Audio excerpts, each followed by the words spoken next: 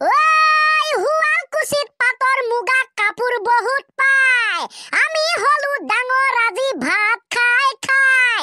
ঐ শুৱালকুছিত পাটৰ মুগা কাপোৰ বহুত পায় আমি হলো ডাঙৰ আজি ভাত খাই খাই। ঐ মাংস হলে ভাত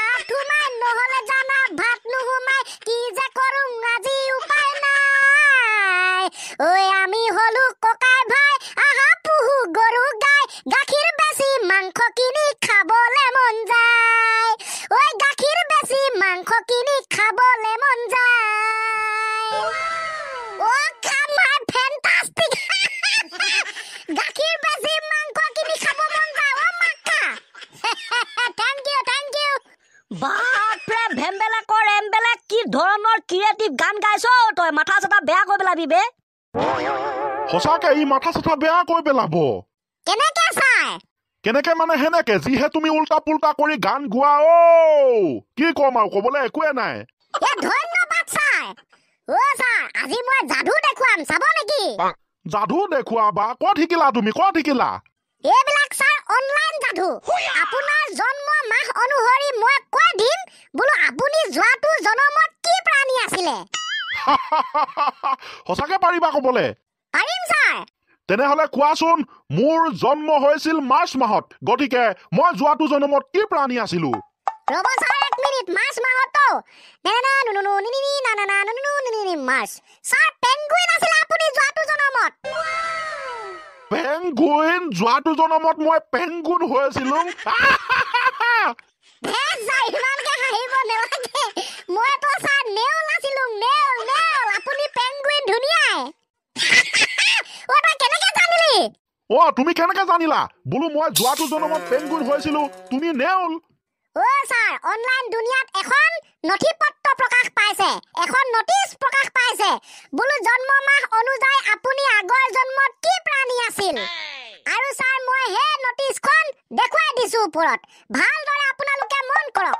জানুৱাৰী মাহত এন্দুৰ ফেব্ৰুৱাৰী মাহত জন্মগ্ৰহণ লোৱা প্ৰাণীসকল প্ৰাণী নহয় বা মানুহসকল আগৰ জন্মত আছিল নেউল মাৰ্চ মাহত পেংগুইন যেনেকে ছাৰ আপুনি এপ্ৰিল মাহত জিৰাফ মে' মাহত হনুমান জুন মাহত ৰাজহাঁহ জুলাই মাহত ভূত আগষ্ট মাহত পঁইতাচোৰা ছেপ্টেম্বৰ মাহত বাঘ অক্টোবৰ মাহত বান্দৰ নৱেম্বৰ মাহত জেব্ৰা আৰু ডিচেম্বৰ মাহত আছিল জেঠী। এহে ৰ'ব ৰ'ব ছাৰ তেনেহ'লে মই জিৰাফ আছিলো। কাৰণ মই এপ্ৰিল মাহত জন্ম হৈছিলো। হৈ থাকো ছাৰ মাক্কা মই জেব্ৰা। কাৰণ মই নৱেম্বৰ মাহত জন্ম হৈছিলো। জেব্ৰা। ঠিক আছে দিয়া ভাল লাগিল ভাল লাগিল। অলপ হাঁহিব পালো নে কি? ৰাইট ছাৰ আপোনালোকে এইবিলাক সঁচা বুলি ভাবি নল'ব দেই। কেৱল এণ্টাৰটেইনমেণ্টৰ কাৰণে বনোৱা অকণমান কমেডি একো নহয় দিয়া এইবাৰ উৰেকান্ত তুমি কোৱাচোন তোমালোকৰ নিচিনা দুষ্ট ছাত্ৰবিলাকে স্কুলৰ টাইমত বিশেষকৈ এম ই স্কুলৰ টাইমত নাইবা এম ভি স্কুলৰ টাইমত আটাইতকৈ বেছিকৈ কোৱা মিছা কথাটো কি আছিল ছাৰ ভাবিব লাগিব ভাবা ভাবা ভাবা মুঠতে মোক কোৱা বেলেলে বুলুলো বিলিলি বেলেলে মই কি মিছা কথা কৈছিলো বেলেলে বুলুলো আই দিয়া অ ছাৰ ছাৰ কোৱা কোৱা কোৱা উত্তৰ কোৱা অ ছাৰ ছাৰ আগতে আমি এটা ভয়ংকৰ মিছা কথা কৈছিলো। যেনে মহোদয় সন্মানপূৰ্বক বিনীত নিবেদন এই যে মোৰ পেট বিষ হোৱাৰ বাবে মই চতুৰ্থ পিৰিয়ডৰ পাছত বিদ্যালয়ত উপস্থিত থাকিব নোৱাৰিম। গতিকে আমুক তামুক তামুক আমুক মোক ছুটি লাগে দৰখাস্তখনত এনেকৈ লিখা কথাটো ভয়ংকৰ মিছা কথা আছিল ছাৰ অ কামাই কি ক'লা কি ক'লা কি ক'লা তুমি? দৰখাস্তখনত ভু- ভু- ভুলকৈ লিখি মিছা কথা লিখি ছুটি লৈছিলা। অ' মাই গড উপায় নাই ছাৰ লৈছিলো আগতে। এতিয়া কি কৰিব? হোৱা কথাটো হৈ গ'ল। বাপৰে সঁচাকে বৰ ডেঞ্জাৰ ষ্টুডেণ্ট দেই তোমালোক। আগতেও ডেঞ্জাৰ আছিলা এতিয়াও ডেঞ্জাৰ আৰু পাছলৈও ডেঞ্জাৰ হৈয়ে থাকিবা। খাটাৰা ষ্টুডেণ্ট থেংক ইউ ছাৰ কোনে কেনেকে এনেকুৱা বনালে সেইটোহে গম নাপালো ছাৰ হ'ব হ'ব একো নাই। তোমালোকৰ এই পজিশ্যনটো দেখি মোৰ সঁচাকে সাংঘাতিক লাগিছে। বাৰু যি কি নহওক সেইটো উৰেকান্ত তুমি যিটো মোক মিছা কথা ক'লা সেইটো যে এটা ভয়ংকৰ মিছা কথা তাক মই গম পাই গৈছো অ'কে? ছাৰ। এটা মোৰ প্ৰশ্ন আছিলে। কোৱা কোৱা কোৱা মই উত্তৰ দিবলৈ চেষ্টা কৰিম। মানে ছাৰ আধুনিক শ্ৰেণী কেই প্ৰকাৰ আৰু কি কি? বোপাই কিনো আধুনিক শ্ৰেণী পুৰাণিক শ্ৰেণী থাকে। শ্ৰেণী এবিধেই মিঠা মিঠা বগা বগাকে খাবলৈ মিঠা হয়।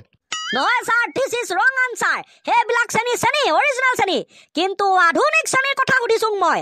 অ হৰি আল্টাৰ প্ৰ নেক্সট প্ৰশ্ন আনিছা তুমি। Thank you thank you sir উত্তৰটো দিয়ক। চাৰেণ্ডাৰ আগতীয়াকে কৰি দিছো চাৰেণ্ডাৰ চেনী এবিধে থাকে মোৰ মতে। আধুনিক চেনী আৰু নাই বেলেগকে। হেৰ' ছাৰ অৰিজিনেল শ্ৰেণী শ্ৰেণীয়ে।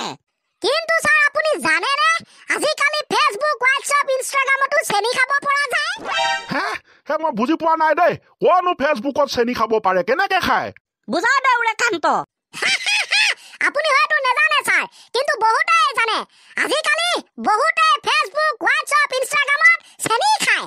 নে কি কোৱা বন্ধুসকল? এইবিলাক হৈছে আধুনিক চেনি। থোৱাহে তোমালোকৰ আধুনিক চেনীৰ বিষয়ে। মোৰ প্ৰশ্ন বেলেগ আছে উত্তৰ দিবা উত্তৰ দিবা। এইবিলাক চেনী নিমখ টেঙা চেঙা বাদ দিয়া বাদ দিয়া। অ'কে ছাৰ ন' প্ৰব্লেম নাই যদি নাই ৰঙামাটি নাই গুৱাহাটী যি হয় হৈ থাকক। প্ৰশ্ন উঠক ছাৰ! আচ্ছা যোৱাকালি দীপাৱলীৰ ওপৰত লিখা ৰচনাখন মোৰ বহুত ভাল লাগিলে। আজি আকৌ এটা প্ৰশ্ন আছে শুনিছানে? বোলো শুনিছা? শুনিছো ছাৰ! বাৰু কোনোবা এটা উত্তৰ দিবা হা? দীপাৱলী কিয় দিৱালী বুলিও কোৱা হয়? দীপাৱলীক কিয় দিৱালী বুলি কোৱা হয়? আচলতে যে ছাৰ আগতে আমি দীপাৱলী দীপান্বিতা সেইবিলাক নাম নেজানিছিলো নহয়। দিৱালী বুলিহে শুনিছিলো। এতিয়াহে জাত জাতখন শুনিছো। ৰাইট ৰাইট ৰাইট ঠিকে কৈছা কিন্তু মোৰ উত্তৰটো অলপ বেলেগ। ৰ'ব ছাৰ আপুনি কওকচোন জ্যোতিপ্ৰসাদ আগৰৱালাক ৰূপ কোঁৱৰ বুলি কোৱা হয় হয় নহয়? অ সকলোৱে জানে ৰূপকোঁৱৰ জ্যোতিপ্ৰসাদ আগৰৱালা তেখেতক ৰূপকোঁৱৰ বুলিও আমি মাতো। তেখেতৰ আমি নিক নাম বুলি ক'ব পাৰো। য়েছ ছাৰ বিষ্ণু প্ৰসাদ ৰাভাক আমি কলাগুৰু বুলিও ক'ব পাৰো হয় নাই ছাৰ? ক'ব পাৰো নেপাৰো মানে পাৰোৱে হাণ্ড্ৰেড পাৰ্চেণ্ট কলাগুৰু বিষ্ণুপ্ৰসাদ ৰাভা। লগতে ছাৰ সুভাষ চন্দ্ৰ বসুক নেতাজী বুলিও আমি ক'ব পাৰোঁ হয় নাই ছাৰ? হয় হয় হয় নেতাজী সুভাষ চন্দ্ৰ বসু। কিন্তু তোমালোকে এইবিলাক কিয় সুধি আছা? কোন তাক ৰুব ছাৰ? ৰুব ৰুব ৰুব। আনহাতে আনহাতে আনহাতে। কাতি বিহুক কঙালী বুলি কোৱা হয় নে নহয় ছাৰ? হয়। মাঘৰ বিহুক ভোগালী বুলি কোৱা হয়। হাণ্ড্ৰেড এণ্ড ফিফটি পাৰ্চেণ্ট হয়। তেনেহ'লে ছাৰ আপুনি কওকচোন। মাঘৰ বিহুক ভোগালী কাতি বিহুক কঙালী সুভাষ চন্দ্ৰ বসুক নেতাজী আমাৰ বিষ্ণুপ্ৰসাদ ৰাভাক কলাগুৰু জ্যোতিপ্ৰসাদ আগৰৱালাক ৰূপ কোঁৱৰ সেইবিলাক কিয় কিয় কিয় ইয় কোৱা হয় আপুনিতো গম পাইছে? ৰবা ৰবা ৰবা জ্যোতিপ্ৰসাদ আগৰৱালা কিয় ৰূপ কোঁৱৰ আমাৰ কাতি বিহুক কিয় কঙালী বুলি কোৱা হয়? অ এইবিলাকতো মই জানো। য়েছ ছাৰ যিদৰে ৰূপ কোঁৱৰ জ্যোতিপ্ৰসাদ বিহু কঙালী কোৱা হয়। ঠিক সেইদৰে দীপাৱলী কোৱা আমি দেৱালী বুলি কব পাৰো। বছ। বছ বছ বছ। অ' মাই গড কি ধৰণৰ ষ্টুডেণ্ট কি উত্তৰ দিছে? অ' হ'ব হ'ব হ'ব। তোমালোক যে সঁচাকে ডেঞ্জাৰ মই আকৌ প্ৰমাণ পালো। কি উত্তৰ দিছা কি? কি লজিক ব্যৱহাৰ কৰিছা কি? বাই। গ'ল। Bye bye. উত্তৰ শুনি পলালে